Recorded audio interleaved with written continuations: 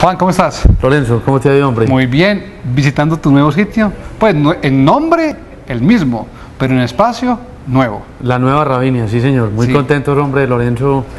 Esto, pues, es como un, un nuevo, un nuevo negocio, digamos, porque estamos aprendiendo de, de otra forma de hacer el negocio. Muy contentos porque es una sede nueva, muy bonita. Y esperemos pues, que la gente de Medellín la, la reciba muy bien. Bueno, pero lo que me gusta también es que ya no es únicamente esa bodega para ir a comprar vinos, sino también un sitio para sentarse a degustarlos con un muy buen ambiente donde prácticamente diría que ya es un wine bar. No, realmente Lorenzo siempre fue el deseo nuestro tener un wine bar y cuando montamos el negocio hace nueve años ya, eh, la Ravinia surgió como una charcutería, Sí. que es un concepto pues que tiene algunas similitudes con el wine bar. Ahora queríamos tener un lugar más cómodo porque los clientes nos lo estaban solicitando, más comodidad, que la gente pudiera venir y probar los vinos nuestros, las marcas nuestras.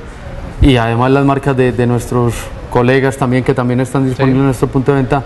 Y bueno, pues tomamos la decisión después de analizarlo y estamos muy contentos realmente en un punto de venta muy amplio, muy cómodo, con parqueaderos para todos nuestros clientes, eh, abierto siempre a las visitas de, de nuestros amigos y, pues, y obviamente muy Obviamente los mismos vinos, las mismas referencias, se encuentra la misma calidad. No, la verdad es que inclusive este, este, esta reapertura, pues lo que pasa es que cuando uno habla de reapertura la gente cree que es que porque el otro no funcionó, no, el negocio nuestro venía, pues la empresa nuestra, es una empresa que siempre ha, ha tenido pues como un reconocimiento muy especial, pero queríamos tener más comodidad. De hecho, se ampliaron más. Nuevos servicios, estamos en un local mucho más amplio, mucho más cómodo, con, con muy buenos parqueaderos. Y en el tema pues que tú mencionas, Lorenzo, de referencias, ahora hemos incorporado incluso una cantidad de productos que no teníamos en el mundo del vino, pues obviamente tenemos unas nuevas bodegas que nos están llegando de Chile y de otros países.